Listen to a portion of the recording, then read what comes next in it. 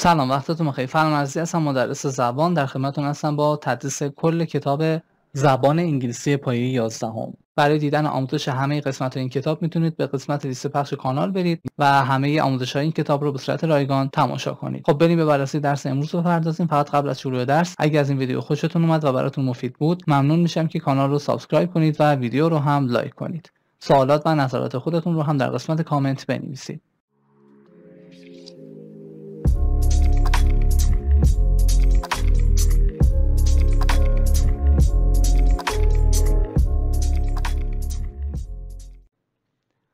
این فیلم می‌خوایم به بررسی افعال عبارتی بپردازیم. صفحه 68 کتاب زبان 11 هم.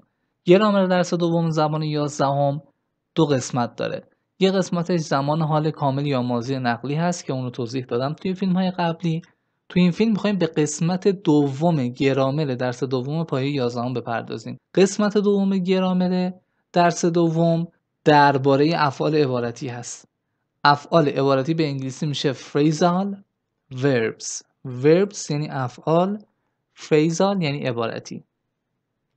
بعضی هم بهش میگن افعال چند کلمه ای حالا بریم و ببینیم که این افعال عبارتی چیا هستن. ببینید یک فعل رو در نظر بگیرید. مثلا go یعنی رفتن. turn یعنی چرخیدن. put یعنی گذاشتن. اگه ما بیایم بعد از یک فعل مثل همین فعلایی که گفتم. یه حرف اضافه یا قیدی اضافه کنیم به ترکیب فعل و این حرف اضافه یا قید میگیم phrasal verb یا فعل عبارتی پس آقا فعل عبارتی چیه؟ بیایم بعد از فعل یه حرف اضافه یا قید اضافه کنیم به این ترکیب میگیم فعل عبارتی یا phrasal verb حالا رایش در این حروف اضافه یا قیدهایی که بعد از فعل میان در افعال عبارتی اینا هستن. About, around, at, away, back, down, for, in, into, off, on, out, over, through, to, and up. یه مثال بگم که اینو خوب متوجه بشید. Turn یعنی چرخیدن. یه فعله. یه فعل معمولیه. معنیش یعنی چرخیدن. حالا اگه من بعدش بیام حرف اضافه آن رو بیارم معنیش میشه روشن کردن. turn یعنی چرخیدن. turn on یعنی روشن کردن. به این turn on میگیم phrasal verb یا فعل عبارتی. اومدم اینجا چیکار کردم؟ یه حرف اضافه رو اومدم گذاشتم بعد از فعل. به ترکیب این فعل و حرف اضافه میگم phrasal verb یا فعل عبارتی. بعضی هم بهش میگن فعل چند کلمه ای الان turn یه فعل معمولیه. turn on یه فعل عبارتیه. حالا بیام آف بذارم بعدش معنیش میشه خاموش کردن. بیام آف بذارم بعدش معنیش میشه زیاد کردن. turn off یه فریزال وربه turn off فریزال وربه بیام بعد از turn down بذارم معنیش یعنی کم کردن. یه مثال دیگه با فعل put put یعنی گذاشتن. بیام بعدش حرف اضافه آن بذارم این put آن میشه فریزال ورب حالا معنیش چی میشه؟ معنیش یعنی پوشیدن. معنی وز اضافه کردن هم میده توی یکی از مکالمات درس دومتون تو قسمت listening و speaking این کلمه put آن به معنی وزن اضافه کردن اومده. دقت داشته باشید put out یعنی خاموش کردن. الان put out فریزال وربه بعد put up بیارم معنیش یعنی ساختن یا بالا بردن. put up فریزال وربه خب این شد از مفهوم افعال عبارتی. این افعال عبارتی موضوع گسترده ای هست اما کتابتون زیاد درباره صحبت نکرده. جزئیات زیادی درباره افعال عبارتی نگفته. فقط چند تا فعل عبارتی رو معرفی کرده که شما باید اونا رو بلد باشید. حالا من تو این اسلاید می‌خوام لیست همه افعال عبارتی رو که تو پای 11 هم اومده بهتون بگم. این افعال عبارتی که تو این صفحه می‌خوام بهتون بگم رو حتما باید حفظ کنید با همه جزئیاتش. حالا توی اسلاید بعدی نمونه سوالم بهتون میگم. اولی رو نگاه کنید. look یعنی چی؟ یعنی نگاه کردن. این look فعل عبارتی نیستا می‌خوام فعل های عبارتی که از این look در کتابتون هست بهتون بگم. look for یعنی جستجو کردن. look for یعنی جستجو کردن. شما باید بدونید که بعد از look for بیاد معنیش یعنی جستجو کردن. look after یعنی مراقبت کردن. باید بدونی بعد از look after بیاد معنیش یعنی مراقبت کردن. look after یعنی مراقبت کردن. look out یعنی مراقب بودن یا دنبال چیزی گشتن. دارم باز تکرار می‌کنم این حرف اضافه هایی که بعد از فعل میاد رو باید یاد بگیرید و بدونید که هر کدوم که به فعل وصل میشن چه معنی دارن. ببینید ترن یعنی چرخیدن. یه فعل معمولیه. این فریزال ورب نیست. حالا می‌خوام فریزال ورب هایی که از این فعل turn در کتابتون هست رو بهتون بگم. turn on یعنی روشن کردن. turn off یعنی خاموش کردن. turn around یعنی برگشتن یا بهبود یافتن. بعدی get خود get معنی زیادی داره. get یه فعل معمولیه. یعنی گرفتن شدن خریدن کسب کردن به دست آوردن. حالا بعد از get up بیارم این get up میشه phrasal verb فعل عبارتی معنیش هم یعنی بیدار شدن. get یعنی فرار کردن. keep یعنی نگه داشتن. حالا phrasal verb هاش چیا میشن؟ keep off. keep off میشه دور نگه داشتن یا اجتناب کردن. توی درس اولتون بود. keep on یعنی ادامه دادن. بعدی go. go یعنی رفتن. go out یعنی بیرون رفتن.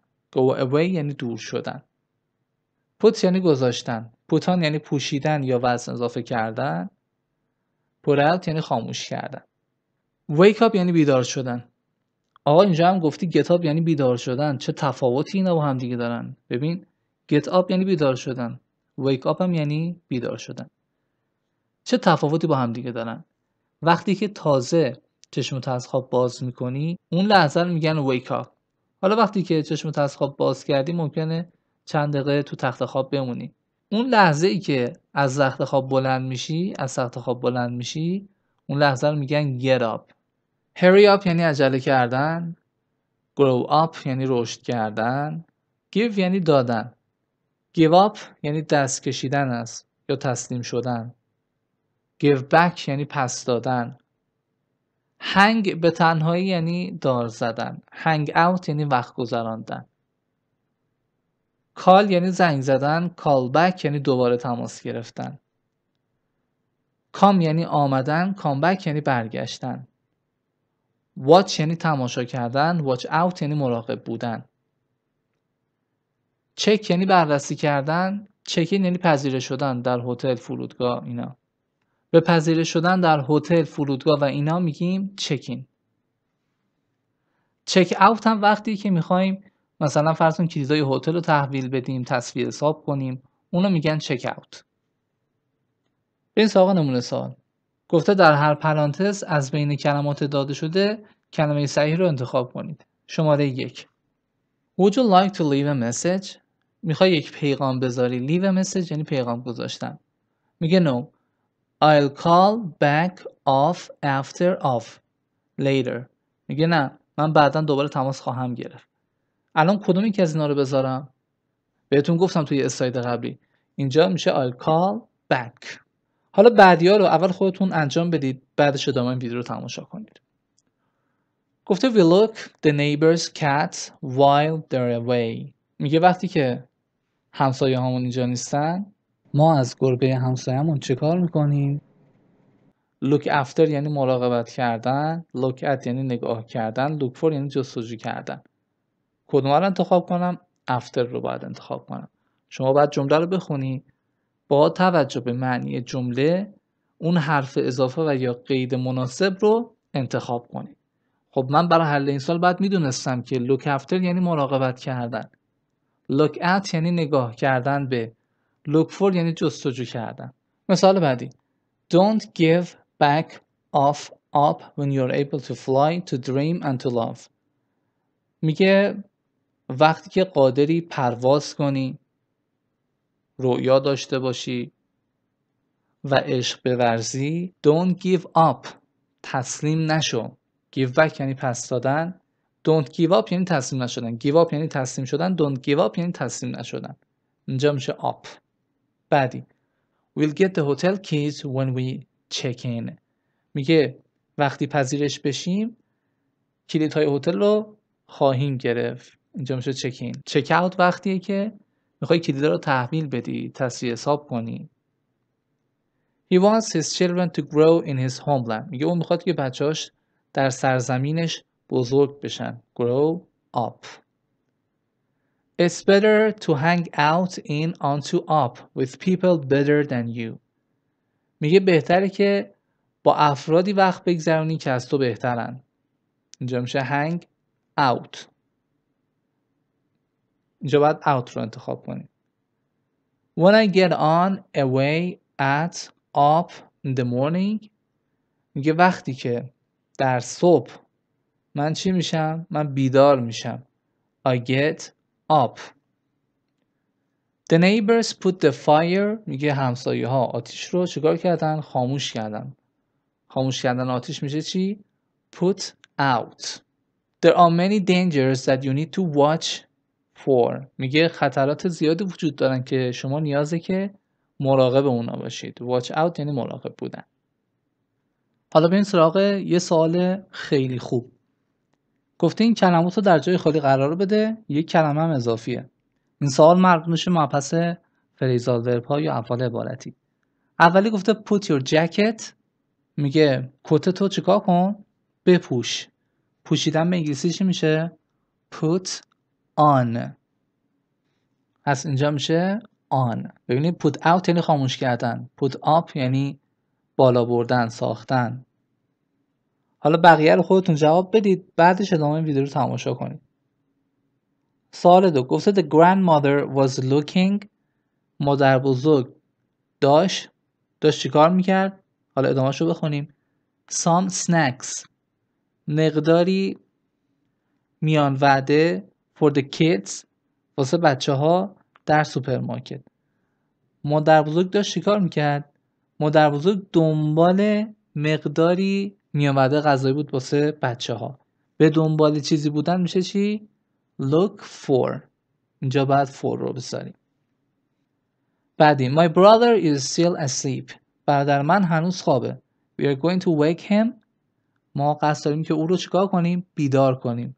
بیدار کردن میشه چی؟ Wake up. Have you checked of the hotel? خب بعد از چک یا این میاد یا اوت میاد؟ اینجا این نداریم میشه out. چکت وقتی که می‌خوای با هتل تصویه حساب کنی و کلیدا رو تحویل بدی. میگه yes I'm on my way to the airport now. میگه الان تو راه فرودگاه هستم. حالا بریم سراغ این سال. گفته این افعال عبارتی رو در جای خالی بذارید. یکی از اونها هم اضافیه. کالبک یعنی دوباره تماس گرفتن چکین یعنی پذیرش شدن در هتل فرودگاه اینا. گرو آب شکل دوم فعل گرو آب هست یعنی بزرگ شدن. اولی.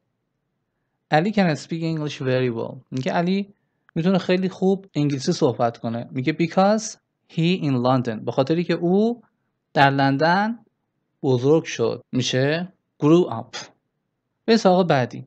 اینجا این A و B رو که گذاشته یعنی A یک شخصه B یک شخص دیگه است. شخص A گفته What are they doing at the hotel? اونا دارن در هتل چیکار می‌کنن؟ میگه they want to اونا می‌خوان چکین پذیرش بشن. حالا بریم و مثال های صفحه 68 کتاب رو بخونیم. تو این صفحه اومده چند تا فریزال وب رو معرفی کرده که اونا رو با رنگ سبز مشخص کرده. اولی Would you like to leave a message? می‌خواهید که یک پیغام بگذارید. Leave a message یعنی پیغام گذاشتن. میگه no I'll call back later. میگه نه من بعدا دوباره تماس خواهم گرفت. Call back یعنی دوباره تماس گرفتن که گفتم بهتون. Have you checked in? پذیرش شده اید؟ میگه oh yes I'm in my room now. میگه بله الان تو اتاقم when did you get up? چه زمانی بیدار شدی? Early in the morning. صبح زود. Has your father given up smoking? آیا پدرت سیگار کشیدن رو ترک کرده? Given up? شکل سوم فعل give up هست. Give up یعنی ترک کردن دست کشیدن تسلیم شدن. میگه yes he knows smoking is harmful to his health. میگه بله اون می‌دونه که سیگار کشیدن واسه سلامتیش مضره. Harmful یعنی مضر health یعنی سلامتی. Did you go to school in کرج؟ میگه آیا در کرج به مدرسه رفت؟ میگه no. She grew up in لواسان میگه نه او در لواسان بزرگ شد. Hurry up. عجله کن. We are late. سارا looked after us very well. سارا از ما خیلی خوب مراقبت کرد. Look after یعنی مراقبت کردن. She is an excellent cook. او یک آشپز عالی هست. Turn off the washing machine. ماشین لباسشویی رو خاموش کن. It's making too much noise. داره سر صدای خیلی زیادی ایجاد می‌کنه. James usually wakes up early. Usually یعنی معمولا. میگه جیمز معمولا زود بیدار میشه. But اما today امروز he is still asleep. هنوز خوابه. Still یعنی هنوز asleep یعنی خواب. خب به پایان این ویدیو آموزشی رسیدیم. امیدوارم که براتون مفید بوده باشه. با آرزوی موفقیت برای همه شما یادگیرندگان عزیز.